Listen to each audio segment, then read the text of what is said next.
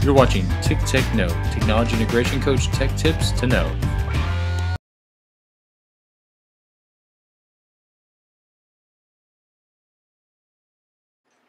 Hi, my name is Chris Pugh. I'm a technology coach for Clarksville Montgomery County School System. And we're going to take a look at how to get your 3D printer back and running if you happen to have one of the 3D Systems Cube printers. Uh, it uses this proprietary cartridge that tends to jam and the filament tends to break. So at how to have to fix that to get you back on your feet again. Unlike most 3D printers, this one has a spool that goes inside and has the extruder, which is normally in the printer, as part of the spool, and the nozzle, which also is usually in the printer, as part of the spool. So uh, that tends to be part of the reason why these break so easy because you're putting a lot more stress in places not supposed to be. So a trick I've seen in other videos, and thankfully people were nice enough to share that, is that you can advance this uh, with the screwdriver by just shoving it in there and, and twisting counterclockwise. It may also may be necessary to open up the case, and when you do, an easy tool for that is a uh, putty knife or paint spatula, whatever you call it, that you just kind of kind of pry around the edge and uh, twist to crack it open with uh, by pushing the little clips on the inside. Uh, you have to work your way all the way around it to get the whole thing open, but with a little patience, you'll be able to get it just fine. Alright, there's two techniques to get this inside ring to let go. One involves grabbing a, a pair of sharp scissors, uh, opening it up a little bit, and then there's two holes at the top and at the bottom to kind of wedge it in and kind of push against to release uh, the pin. If that's not any, it's not going to work for you, then uh, the other one is just to kind of pull a little harder on the around the outside again and that seems to work every time. Just you know be careful. Again work your way around and it'll pop free eventually. Just like that. Alright so it has lots of breaks in the line like right there. You can see a clear break. When the extruder pulls through no more is going to come out so uh, when I actually took this apart, there were about six or seven different chunks and pieces throughout the system that had to be pulled out.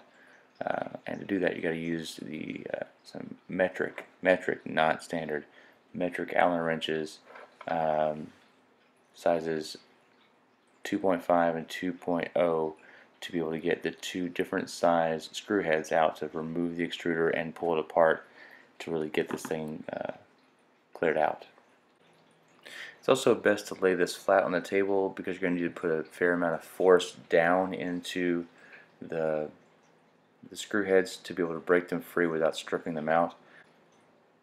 Alright, so there are two screws with the smallest, the 2.0, that hold the extruder and the filament tube to the outside case. Uh, get those out, put them someplace safe. You don't want to lose them and then there are two more that hold it together hold the two halves of the extruder together and those have the kind of larger 2.5 um, screw heads. And they're right there. Alright once you've got that apart there are two little wheels. One has gear teeth on it and that advances the uh, filament through and the other is a round pulley to kind of kind of mash it and apply pressure Alright, so we've got one end free. Uh, there's a broken bit. Now we have to get the other end free. We've got to take the nozzle off, and thankfully that's pretty easy to do. We'll just need our handy dandy paint scraper putty knife, and uh, there's two little pegs on the top and the bottom and the front. They just shove in there, and if you press gently enough on the separation between the top half and the bottom half, right near back edge of the nozzle, it will kind of going to wedge it in and, and pop it free. Alright, so once you've got this apart, you want to make note of what's going on inside of there. There's uh, the nozzle head with a kind of a flange, uh, kind of a, a built-in washer, and behind that is a spring that is compressed and they fit into kind of a semicircular channel. When you're putting it back together, you're going to have to compress that spring and fit both of those in there. The spring goes on first. So I'm going to lift this out of here carefully. Uh, notice the spring popped out. You're going to hold on to that one and then you're kind of gently twist and pull to get this uh, nozzle head out. and sometimes you come out with, oh, there it is, another piece of broken filament. And this one's particularly painful. Uh, it's not wanting to do very well. Uh, I had to eventually just get a pair of pliers and grab the back end of that and kind of twist and pull, being careful not to break the, the nozzle itself.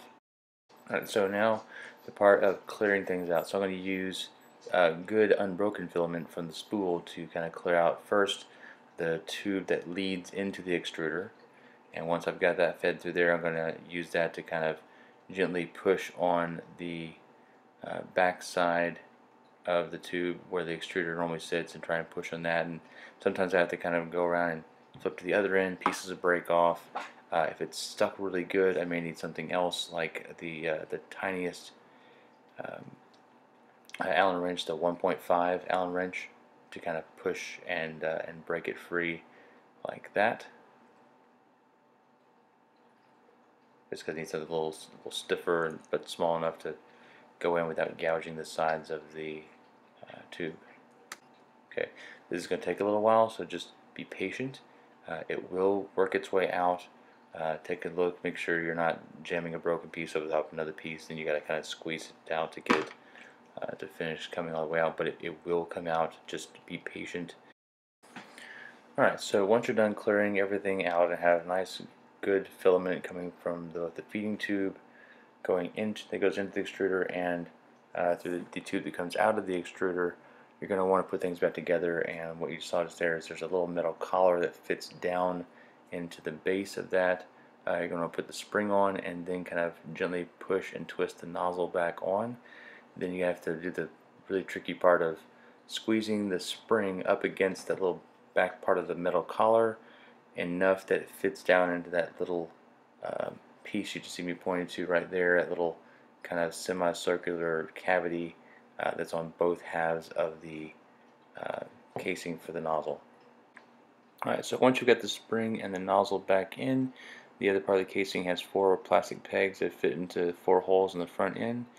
Just uh, line it up, again trying to get that spring and metal flange to go back in there and then squeeze it together. I also sometimes have to uh, lay it face front on the table and then push down for it to finish snapping in place, but it will snap back together. Alright, so the next part is to put the extruder back together, and I just like to start with the part that has the uh, the, the gear pulley, the gear and pulley. Uh, there's a little metal collar that makes sure you only put it in one way.